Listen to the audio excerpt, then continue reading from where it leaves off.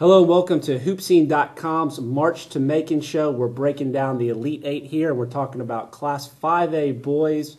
I'm joined by Justin Young, Robert Alfonso, Eric Ellington. I'm Mike Eddy, and these guys are our experts. So we're gonna we're gonna look back and then we're gonna look forward. So to kind of look back, what surprised you so far, Justin? Well, in the 5A division of the Georgia High School State Association state playoffs, is that nothing surprised me. Everything's still in its right place.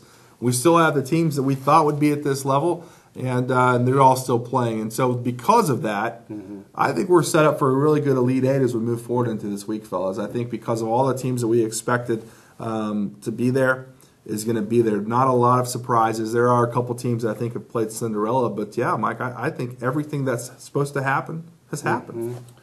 Any anything in particular you learned about any of the teams that you that you saw, or or as you kind of look yeah. back at what happened? Anything that we've learned as a group here? Well, a couple things. One is you know a couple weeks ago I went down to McDonough and I watched the region tournament, um, Region Four, and, and, had a chance to see Creekside, a team that I've really enjoyed watching over the years. Didn't think that was a team that I'd be talking about today. Right, I mean, they're right, a sub right. 500 team, 12 and 15 on the season, but yeah, here they are playing in the Elite Eight, getting ready mm-hmm. to play Effingham County, and uh, so that they've surprised me a little bit. Uh, they've got a player, Ed Jones, who's a six foot six, six foot seven player that played really well in their region tournament. Now their benefit is to play Jakeenan Gant from Effingham County. Right. So this actually could be one of those types of games that I love in this time of year where we get a guy like Ed Jones that we don't talk about, nobody really knows about, but here you got a big spotlight against a guy like Jakeenan Gant, arguably the top junior, one of the top two juniors in the state of Georgia. Mm-hmm. Uh, could this be a game where he kind of rises up, and could this be a game where we've got a sub 500 team moving forward? So I think that surprised me a little bit.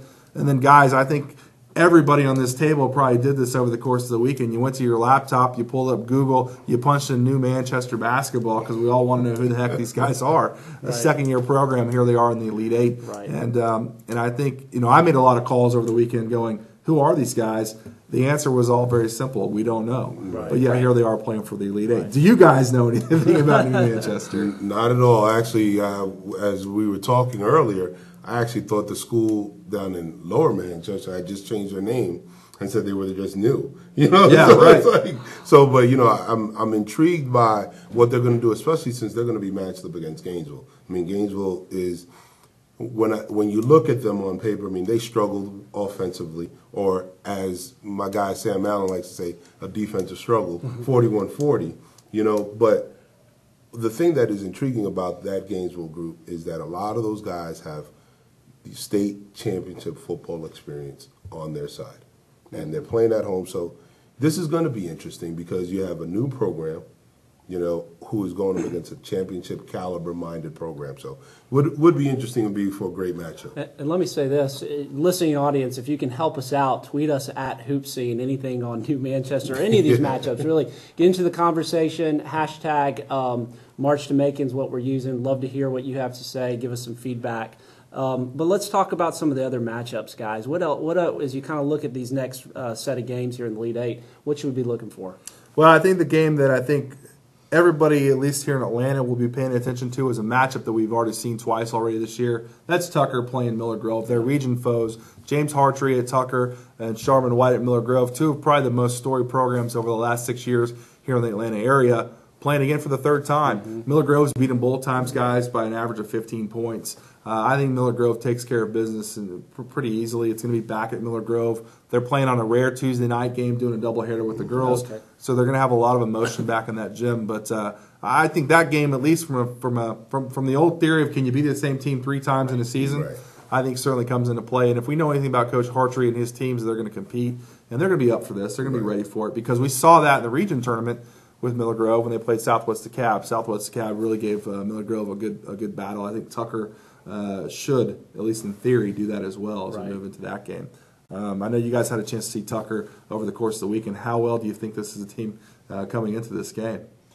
Um, yeah, we, we got the chance to see him in Allatoona earlier, um, and, and, I think you hit most of the things right on. I mean, I, I think we would all agree that um, um Miller Grove is the hands down favorite. But, you know, I mean, Tucker does have some size on the mm-hmm. inside. They do have a, a, a guard um, that can score, and if you've got those two things, um, you've always got a shot to win. Yeah. Right? Well, the thing about that's going to be that's that I want to see on Tuesday is because they are conference foes. Because you know, because it's it's one thing to play on a Tuesday night conference game, you know, against your conference foe, even on a Friday night. But this right here is for the Final Four. This is for a chance for Tucker to really make everybody in their region happy, as well as upset a lot of people Yeah. who are hoping that Miller Grove is able to contend for history because Well, that- that's who they're competing with. And that whole shock the world mentality, I Mhm. think you can really sell that going into there. And I, I think that game will, at least in the first half, be really competitive. And Right. from there, I think Miller Grove, what we've seen from them all year is they shut so they shut people down in the second half. I think that's what we'll see. Then ultimately, guys, to me, I think the best overall game in four, in, in, in Class Five A is Northside Columbus against Jenkins from Savannah. Mm. Right. You know, Savannah. They're, both of these teams are very similar. They both have about twelve game winning streak. Right. Jenkins is really balanced. They've got probably eight, nine, ten guys that go deep in their rotation. right. Then you look at Northside. We talked to our guy Corey Black down there a lot. Mm. He's been selling R.J. Sessions, a senior Right. unsigned guard. Right. Uh, really selling him really high. A guy that scores about 18 points a game. And they've got one of the top freshmen in the state, Davion Thomas, who I think Coach Kenny Lawrence is doing a really good job of bringing him along. You know, Northside's had a program. They've got James Vincent, who's at Georgia State, and then they've had Torrin Walker, who went to uh, uh, uh, Oklahoma State, who Right. transferred as well. Right. But he's worked with big guys. That intrigues me about a young guy like Davion Thomas. Can he can he kind of come through the ranks as well? Uh, I think that matchup is going to be really really good.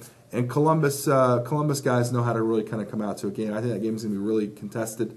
That to me is the game that when I look at these four matchups, that's probably going to be the best matchup of the four. And then again, going back to Effingham County real quickly, driving in today to do the show, I talked to a number of coaches asking about some of the guys in Effingham County.